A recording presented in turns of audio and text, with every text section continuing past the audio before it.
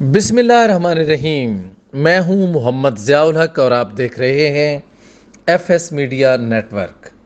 خبر شامل کرتے ہیں مظفر آباد آزاد کشمیر سے۔ انیس جولائی، یوم قرارداد الحاق پاکستان کی مناسبت سے جموں کشمیر لبریشن سیل کے زیر اہتمام مظفر آباد میں تقریب کا انعقاد کیا گیا۔ تقریب میں وزرائے حکومت محترمہ امتیاز نسیم،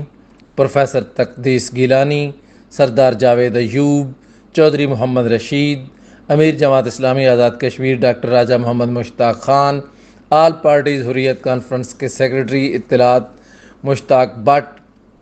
حریت رہنما مشتاق الاسلام، رہنما مسلم لیگ نون مریم کشمیری، حریت رہنما Syed Gulshan, Muslim conference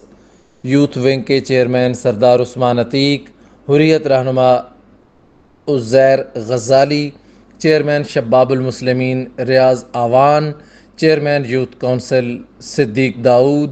رہنما مسلم لیگ نون ایاز غفور، ایس ایم ایف کے صدر راجہ خرم، دلبر، سیکرٹری حکومت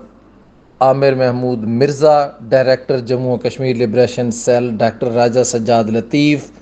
director Jammu و Kashmir liberation cell Raja Aslam Khan, director اطلاعات محمد بشیر مرزا رہنما، حریت کانفرنس، چودھری شاہین اقبال، صدر پینشنر ایسوسیشن راجہ ممتاز خان، رہنما Muslim league Noon Saira Chishti, mayor بلدیہ Sikandar Gilani, doctor commissioner, deputy commissioner Muzaffarabad Mudassir Farooq سمیت مختلف محکمہ جات کے سربراہان سمیت سول سوسائٹی اور عوام کی بڑی تعداد نے شرکت کی۔ تقریب سے خطاب کرتے ہوئے وزیر جموں کشمیر، لبریشن سیل، محترمہ امتیاز نسیم نے کہا کہ انیس جولائی انیس سو سینتالیس میں مسلمانان کشمیر کے نمائندوں نے کشمیر کے مستقبل کا فیصلہ پاکستان کے ساتھ مکمل الحاق کی خواہش کا اظہار کر کے کر دیا تھا۔ ریاست جموں کشمیر کے عوام نے آزادی کے لیے بے پناہ قربانیاں دی ہیں۔ سبسکرائب کیجیے F S media network اور دیکھتے رہیے، سنتے رہیے حالات حاضرہ اور تبصرے۔